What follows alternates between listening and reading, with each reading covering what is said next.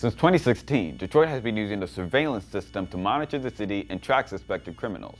It's able to identify individual citizens so well because it uses facial recognition based on over 50 million driver's license photos and mugshots. And people are angry, not just because this technology is seen as an invasion of privacy, but because the system doesn't seem to work. Multiple studies have shown that facial recognition is more likely to misidentify black people than others. This is a major problem, but even more so in a city like Detroit, which has the highest percentage of black residents than any other major US city.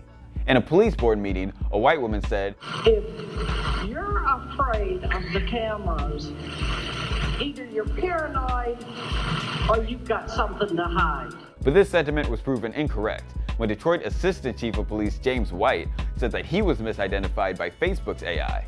And when the ACLU tested Amazon's facial recognition on members of Congress, not only did it misidentify 28 of them as criminals, but a disproportionate amount of the ones misidentified were people of color. These are just more examples of how algorithmic bias will continue to affect people of color in the future. When the system specifically frames you as a criminal, how are you supposed to survive?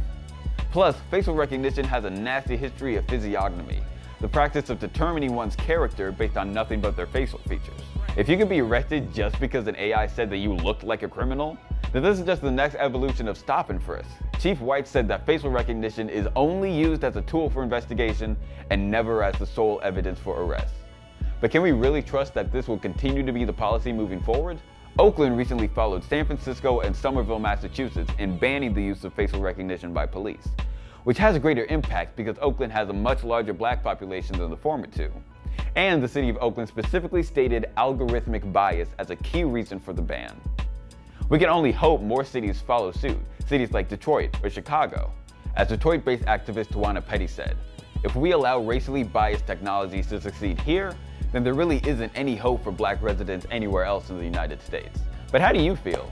Are you ready to trust a technology that doesn't have your best interest in mind? My name is Riley Lockett with YR Media, and thanks for watching.